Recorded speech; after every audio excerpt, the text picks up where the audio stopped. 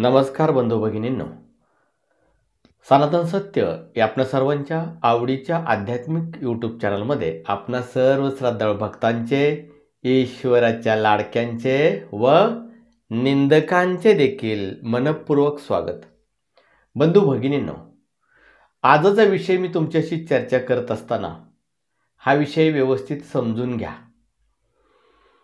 खरं पाहिलं तर मानवी जीव जीवन हे अनेक त्रासानं व्यापलेला आहे. आदिभौतिक आध्यात्मिक असे अनेक त्रास मानवी जीवनामध्ये येत असतात. माझ्या चॅनलमध्ये कधीही कोणत्याही प्रकारची अंधश्रद्धा पसरवली जात नाही कोणत्याही प्रकारचे चमत्काराचे दावे केले जात नाहीत किंवा जे लोक माझ्याकडे त्रास घेऊन येतात त्यांना कधीही औषधोपचारापासून थांबवलं जात नाही. माझ्याकडे येणाऱ्या प्रत्येक लोकाला मी अगोदर म्हणत असतो की डॉक्टरांच्याकडे गेला होता का? डॉक्टरांचे रिपोर्ट काय आलेत? जर डॉक्टर असे म्हणत असतील की आमच्याकडं काहीही त्रास नाही शारीरिक नाही मानसिक नाही तरच तुम्ही माझ्याकडे या. अन्यथा असे अनेक लोक आहेत ज्यांना मी स्वतः पैसे देऊन दवाखान्यात पाठवले की अगोदर उपचार घ्या आणि यातून बरे व्हा. तर आज माझं सांगण्याचा हा उद्देश आहे की इतक्या वर्षाच्या प्रदीर्घ अनुभवातून हजारो लोक वेगवेगळ्या स्वरूपाचे त्रास घेऊन माझ्याकडे आले. आणि त्यांनी त्यांच्या अनुभवातून किंवा त्यांना होणारे जे काही त्रास आहेत ते जे मला सांगितले हे त्रास काय असतात हे मी तुमच्यापुढे याचं वर्णन करणार आहे. सर्वप्रथम अनेक लोकांना आपल्या शरीरामध्ये दुसरं कोणीतरी बसलेलं आहे असं वाटतं. शरीर नेहमी जड होतं कधीकधी अचानक हलकं होतं. मग त्या व्यक्तीला असं वाटतं की आतली शक्ती बाहेर गेलेली आहे. मग नॉर्मल होतो. पुन्हा ती शरीरात एंट्री केल्यानंतर पुन्हा जड व्हायला त्रास होतो. अनेक वेळेला शरीरामध्ये अशी काहीतरी विचित्र शक्ती येते आणि ती व्यक्ती आरडते ओरडते विचित्र हावभाव करते विचित्र बोलायला सुरुवात करते. हा एक अनेक जणांचा त्रास आहे. तर अनेक लोकांना असं वाटतं की आपल्या पोटामध्ये काहीतरी आहे. आत फिरत असतं आतून ओढून धरलेलं असतं. तर काही लोकांना असं वाटतं की आपल्या मानेवरती काहीतरी बसलंय खांद्यावरती बसलंय डोक्यावरती बसलंय. किंवा काही काही लोकांचं आतून सगळं शरीर ओढून धरलेलं असतं. तर अनेक स्त्रियांना असे अनुभव आहेत की झोपेमध्ये त्यांच्याबरोबर कोणीतरी शरीर संबंध करतंय. असे देखील त्यांना अनुभव येत असतात. अनेक वेळेला शरीरामध्ये संचार होतो. आणि हा देवाचाही नसतो. भयंकर आणि विचित्र असतो आणि हा त्रास करून घेत असतो. असे एक ना दोन अनेक प्रकारचे त्रास लोकांना होत असतात. आता या त्रासांचं ॲनालिसिस करत असताना सर्वप्रथम ते मानसिक आहेत का वैचारिक आहेत का अंधश्रद्धेमधून तसं त्यांना वाटतंय का? की खरोखरच त्यांचे ते त्रास आहेत. हे सर्व व्यवस्थित पाहावं लागतं. आणि या सर्व गोष्टी करत असताना पहिल्यांदा वैद्यकीय उपचार घ्यावे लागतात. तुम्ही डॉक्टरांच्याकडे जा आज हे विज्ञान युग आहे. डॉक्टरांच्याकडे जायचं आणि त्यांचे उपचार घ्यायचे. शारीरिक असतील किंवा मानस उपचार सायकेट्रिकचे औषध असतील. तुम्हाला जे जे शक्य असेल ते उपचार पूर्ण घ्या. जर तुम्हाला असं वाटलं की डॉक्टरांचं असं म्हणणं आहे की तुम्हाला शारीरिकही त्रास नाही आणि मानसिकही त्रास नाही. तर आपण माझ्याकडे येऊ शकता. किंवा औषध उपचार चालू असताना ते चालूच ठेवा. आणि त्याबरोबर एक सपोर्टिव्ह उपचार म्हणून देखील तुम्ही माझ्याकडे येऊ शकता. तर हे असे भयंकर त्रास होत असतात. तर अनेक वेळेला अनेक लोकांना झोपेमध्ये डोळे झाकल्याबरोबर शरीरावरती कोणीतरी येऊन बसतंय जीव दडपतोय जीव गुदमरतोय छाती पकडून ठेवतंय असेही त्रास होत असतात. अनेक लोकांना भयंकर आणि विचित्र अशी स्वप्न पडतात जी स्वप्न लाईव्ह असतात की प्रत्यक्षात आपल्याबरोबर ते घडत आहेत का काय? प्रत्यक्षात आपण तिथं उपस्थित आहोत अशी स्वप्न पडत असतात. आणि अनेक आता जसे मी सांगितले शरीर संबंध केल्यासारखा होतो किंवा पुरुषांच्या लिंगाशी कोणीतरी काहीतरी चाळा करतंय लिंगाशी खेळल्यासारखं होतं त्यांना ते जाणवतंय. पोट गच्च राहतं जेवा किंवा जेवू नका पोट एकदम गच्च. सर्व औषधोपचार केले डॉक्टर इंडोस्कॉपी केली डॉक्टर म्हणतात काही झालेलं नाही काही झालेलं नाही. मानसिक उपचारही केले मानसिक उपचार डॉक्टरसुद्धा म्हणतात काही झालेलं नाही.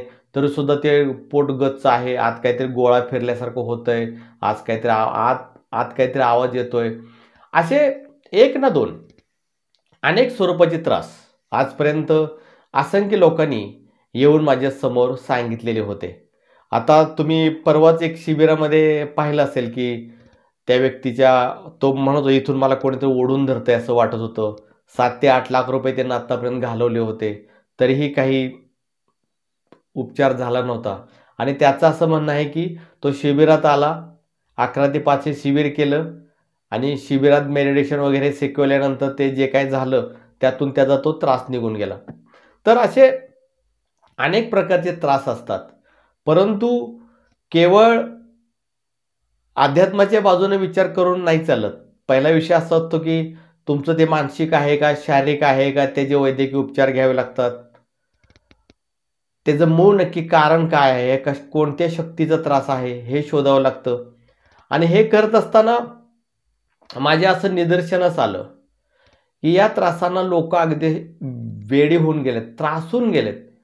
वाटेल ते केलं तर हे त्रास निघत नाही. डॉक्टर झाले बुवा बाबा झाले सर्व काय झालं. तरीसुद्धा हे त्रास जसेच्या तसे आहेत. हे त्रास निघायला अजिबात मागत नाहीत.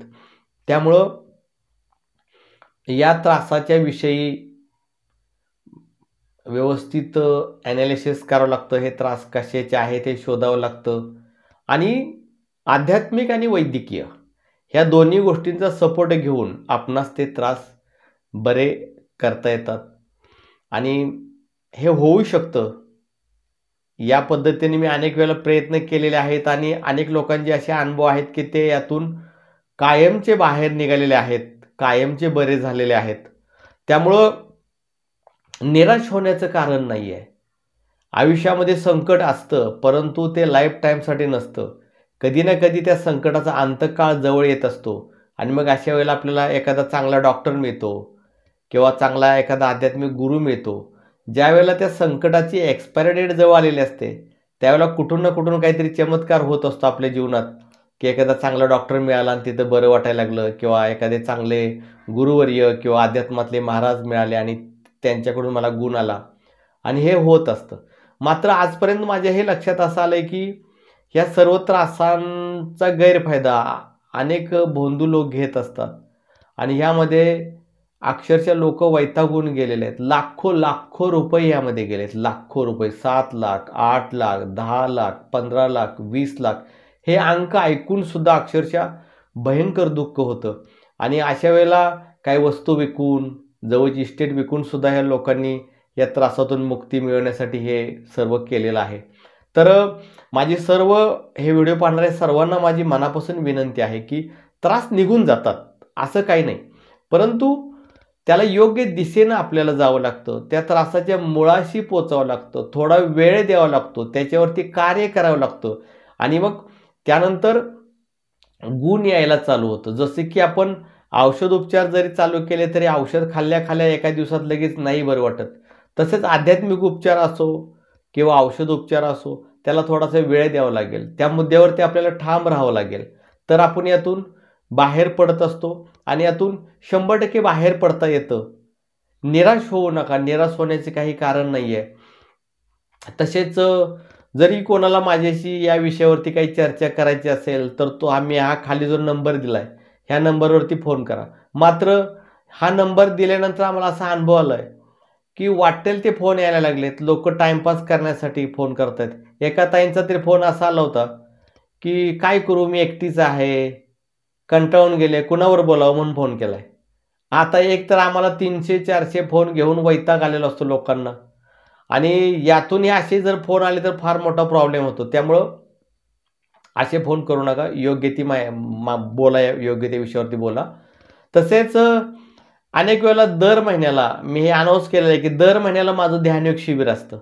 या ध्यानयोग शिबिरामध्ये सुद्धा लोकांना प्रचंड चांगले अनुभव आलेले आहेत. तुम्ही त्यांचे अनुभव पाहिलेले आहेत. यामध्ये ध्यानधारणा शिकवले जातात. काही गुप्त मंत्र करून घेतले जातात. सुरक्षा कवच शिकवलं जातं. आणि बरंच काही यामध्ये शिकवलं जातं. तर या ध्यानधारणा जानेवारी महिन्यातलं शिबिर आहे एकवीस एक दोन हजार चोवीसला. फेब्रुवारीमध्ये ची तारीख डिक्लेअर केली जाईल. दर महिन्यात असतं. या नंबरला तुम्ही संपर्क करू शकता. आपण माझ्या चॅनलमध्ये नवीन असाल तर माझ्या चॅनलला जरूर सबस्क्राईब करा. सबस्क्राईब करत असताना ऑल या शब्द शेजारील घंटीचे बटन अवश्य दाबा. व्हिडिओला जास्तीत जास्त शेअर करा लाईक करा. जय आदिशक्ती!